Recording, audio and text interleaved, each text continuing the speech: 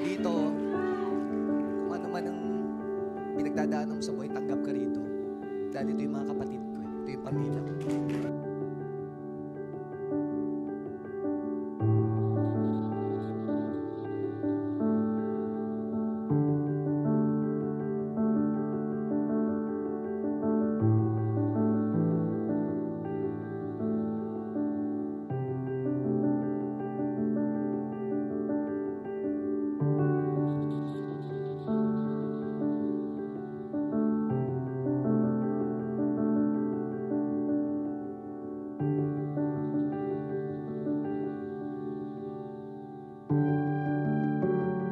Pagpasok ko dito sa ABS, sinabi ko, ayoko umiyak. Ayoko umiyak. Kasi, kasi ito yung pangalawang bahay ko eh.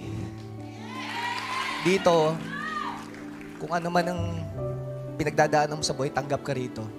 Dahil ito yung mga kapatid ko eh. Ito yung pamilya. At kasama ron ng Madam People, extension kayo ng pamilya na. Kaya lang, pagdating ko dito sa backstage, wala eh. Talagang kailangan, bumabagsak talaga siya eh. Ang sarap ng pagtanggap nyo sa akin.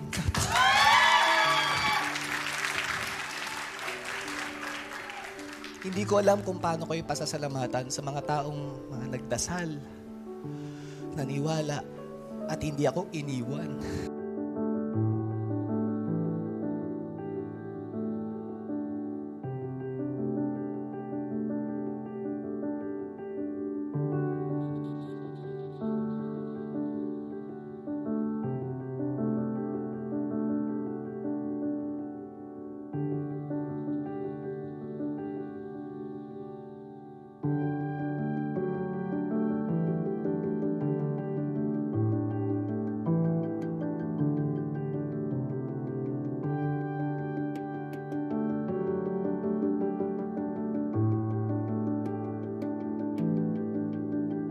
Pero mabait ang Panginoon eh.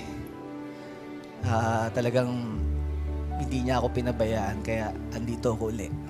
Kaya maraming salamat sa ABS-CBN dahil meron pa rin akong trabaho at andito pa rin yung pamilya ko.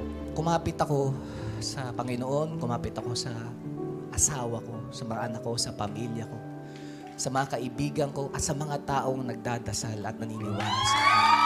Kaya patuloy akong lumaban na malagpasan yung mga problema ang pinagdadaanan ko.